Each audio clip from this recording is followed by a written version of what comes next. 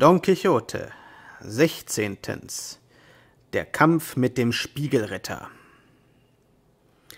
Als die beiden Helden das gegenüberliegende Ufer des Flusses Ebro wieder erreicht hatten, wo Rosinante und der Esel festgebunden waren, gab es ein freudiges Wiedersehen. Sie setzten sich unter einen Korkbaum, aßen und tranken und waren trotz ihrer nassen Kleider guten Mutes. Doch als sie sich hinterher zum Schlafen legen wollten, wurden sie aufgestört.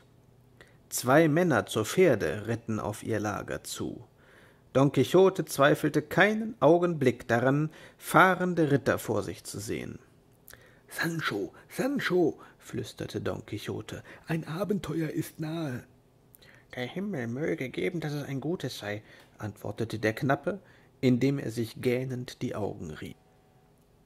Ein fremder Ritter in klirrender und blitzender Rüstung sprang von seinem Pferde, sein Knappe aber, der eine gewaltig große und blaue Nase hatte, blieb auf seinem Esel sitzen.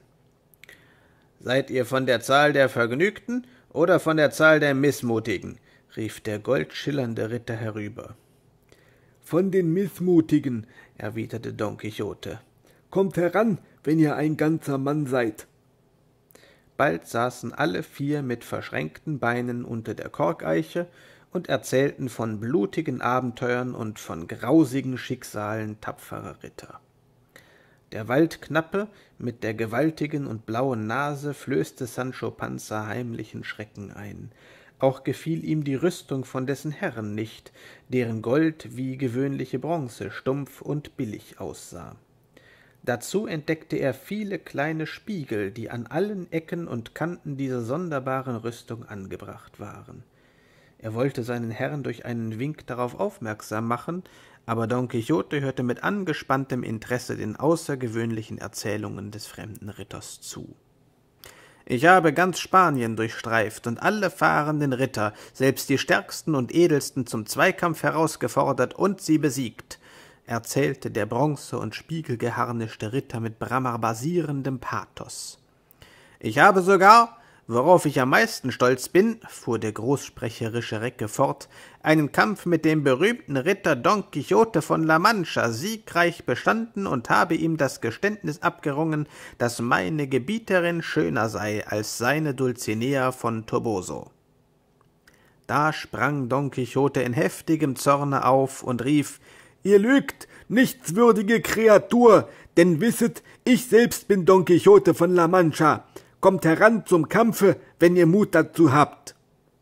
Es ist schon zu dunkel, um zu kämpfen, entgegnete ganz kaltblütig der goldene Waldritter. Im Dunkeln kämpfen nur Räuber und Spitzbuben. Steh, feiger Hund, Don Quixote drang mit dem Schwert auf den mit Spiegeln übersäten Ritter ein. Gleichzeitig war Sancho Panza aufgesprungen und schlug seinem unangenehmen Berufsbruder mit einem gewaltigen Faustschlag auf die verhasste blaue Hakennase. Zu seinem größten Erstaunen fiel die Nase aus dem Gesicht des Waldknappen. Es war eine schlecht fabrizierte Pappnase. Schnell hob Sancho sie vom Boden auf und lief zu seinem Herrn, der den glitzernden Strauchritter mit einem Schwertstreich zu Boden geschlagen hatte, und schrie Seht hier diese Nase, gnädiger Herr, wir haben mit elenden Betrügern zu tun. Don Quixote schnaubte vor Wut. Die Rüstung der am Boden liegenden vergoldeten Heldengestalt war auch aus Pappe, und der darin steckte, war kein anderer als Sanson Carrasco, der Schuster und Nachbar Sancho Panzas aus dem gemeinsamen Heimatdorfe.